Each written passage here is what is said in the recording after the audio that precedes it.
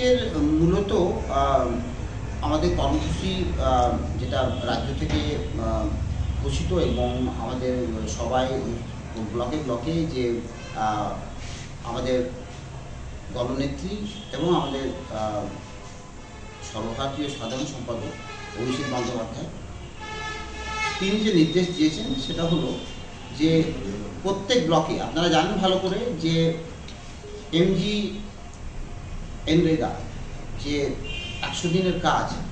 এই কাজের যে সমস্যাটা হচ্ছে আমাদের, এই মুহূর্তে সারা পশ্চিমবাংলায় একটা হাহাকার।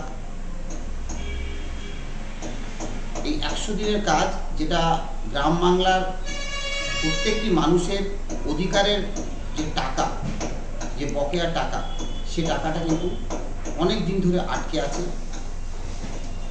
সেন্ট্রাল গভর্নমেন্টের যে সরকার, কেন্দ্রীয় সরকার, সেই টাকাটা অনেক দিন ধরে আমাদের আটকে আছে। এই যে টাকা এবং আবাস যোজনার তালিকায় অনেকেই যে টাকাটা হয়তো বাড়ি পেয়েছেন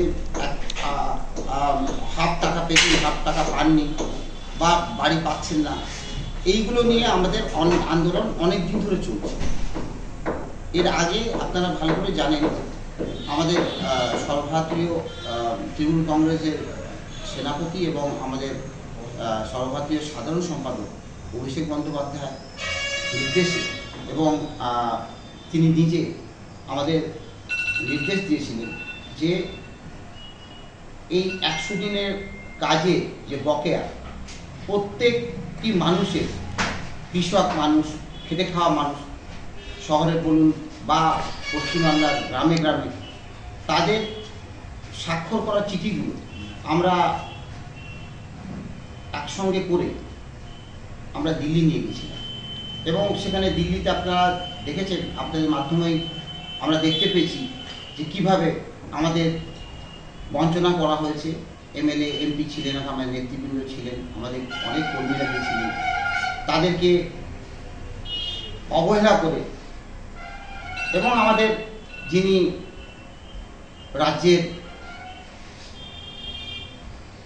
পঞ্চায়েত মন্ত্রী সহ আরও অনেক মন্ত্রী গিয়েছিলেন, তাদের সঙ্গে কেন্দ্রের পঞ্চায়েত মন্ত্রী তো দেখা করেননি, প্রতিমন্ত্রীও দেখা করেননি, তিনিও আমাদেরকে প্রতিশ্রুতি দিয়ে দেখা করেননি তার ফলত আবার এসে আমরা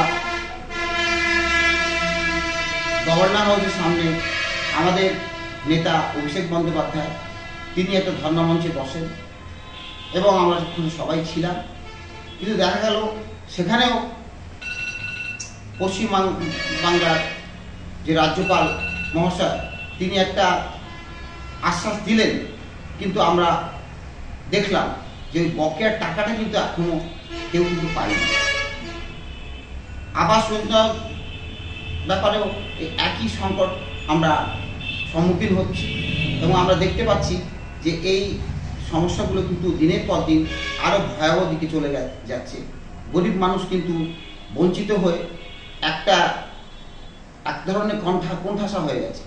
আমার আমাদের নেত্রী বারবার প্রধানমন্ত্রীর দ্বারস্থ হয়েছেন, পঞ্চায়েত মন্ত্রী দ্বারস্থ হয়েছেন, কিন্তু কোনো সুরাহা হয়নি।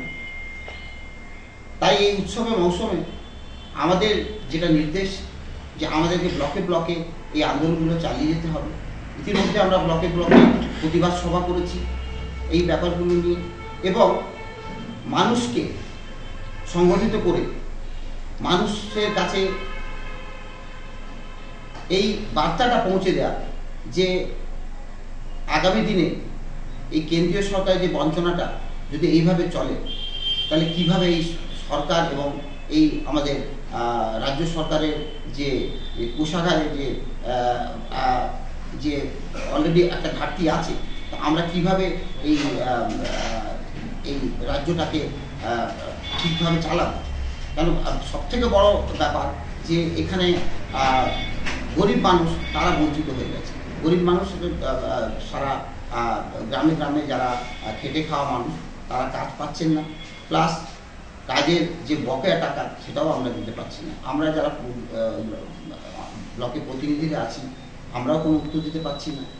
আমরা তাকিয়ে আছি কেন্দ্রীয় সরকারের দিকে কিন্তু কেন্দ্রীয় সরকারের কোনো সদুত্তর না থাকার জন্য আমরা কিন্তু এখনও কিন্তু ধোঁয়াশায় আছি যে এই টাকাটা আমরা কবে পাবো? এবং আমাদের গরিব মানুষরা কবে এই হকের টাকা, অধিকারের টাকা সেটা পাবে? আমরা আন্দোলন চালিয়ে যাচ্ছি এবং এই আন্দোলন আরও তীব্রতর হবে। উৎসবের মৌসুমের কারণে আমরা একটু শিথিল করে দিয়েছি এখন। কিন্তু ব্লকে ব্লকে গ্রামে গ্রামে এই আন্দোলন কিন্তু ছড়িয়ে যাবে। এবং আগামী দিনে আমাদের নেতৃবৃন্দ, আমাদের নেতা অভিষেক বন্দ্যোপাধ্যায় এবং আমাদের নেত্রী মমতা বন্দ্যোপাধ্যায় যেভাবে যেভাবে নির্দেশ দেবেন দলের যেভাবে নির্দেশ থাকবে, সেভাবে কিন্তু আগামী দিনেও আমরা এই আন্দোলনটা চালিয়ে।